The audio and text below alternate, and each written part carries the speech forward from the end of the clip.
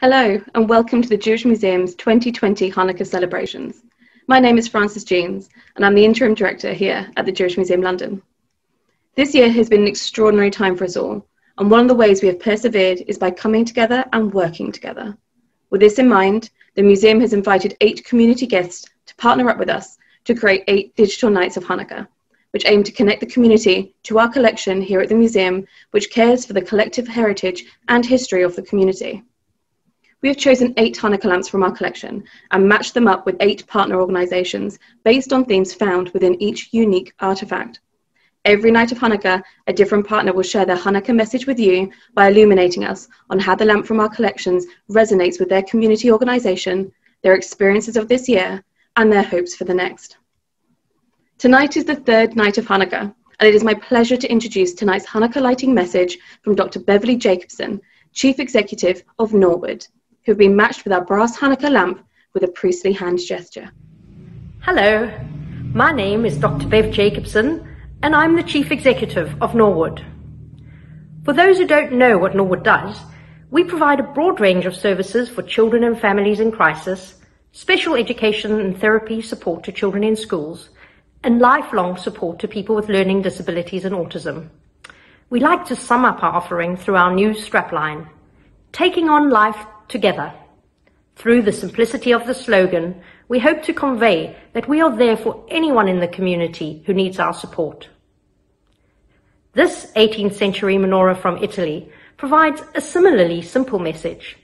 The wording on the lamp is the blessing of the Kohanim, with which a father blesses his children on Shabbat.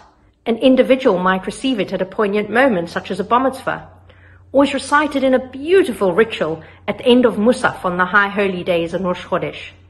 It is a blessing that reminds us that we are all created in Hashem's image, but that we are each unique.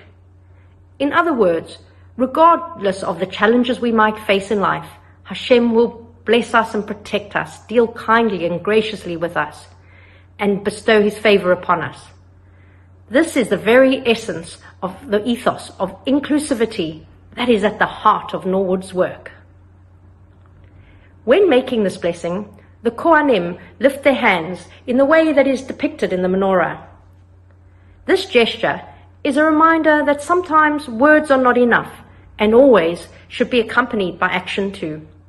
It's that premise which makes Norwood so special, as behind the words, taking on life together, are thousands of actions made every day and every year by dedicated staff, invaluable volunteers, generous donors, and the incredible people we support.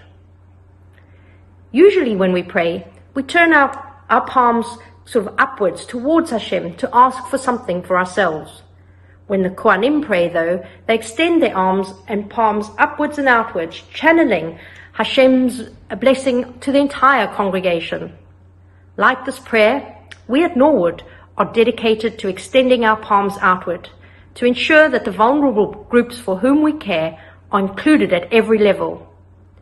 Through our work, we are building a community that truly works for everyone.